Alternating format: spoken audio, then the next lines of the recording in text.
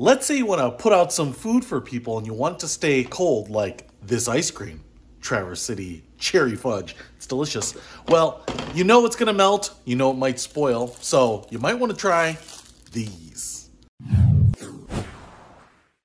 What's happening, Panda Nation? Peter Von Panda here. So, I picked up this pack. I think there's five or six, maybe four of these little life rafts in the package here, and they are basically for setting up your more perishable food items outside in the sun, in the house where they're not going to be refrigerated. And the reason I picked this up is I actually went to a tailgate where my buddy Dave had these sitting out and he had his dip, his sour cream, and stuff like that in here. Now, I am going to use these to put some ice cream out, and I don't want the ice cream to just turn into soup. So what you can see here is that they are blue, so icy cold blue. You can get them in different colors. I think the white is probably the way to go if you just want them to be fairly neutral, but I thought the cool blue might look good with ice cream. Now, as you can see, it's just kind of this PVC, and we have one of the standard air valves right there. So I'm just going to go ahead and blow this up.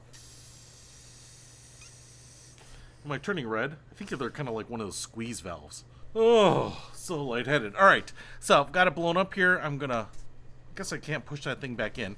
But you can see only this exterior border here is inflated. And what that does is give it some structure and probably two inches of depth there. So I can put in ice here, put things in here, your vegetable tray, that kind of thing, and the ice is going to help keep it cool. I will also say that the top here, I didn't realize that, is clear. So you can actually see a little bit of my breath in there too.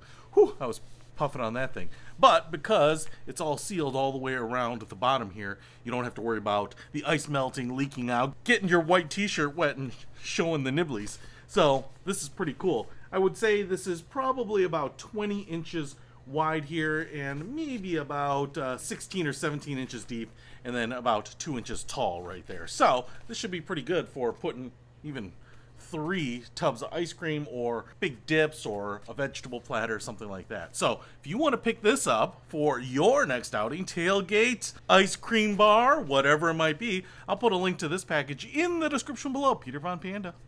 Out! We can discover more and explore so much deeper.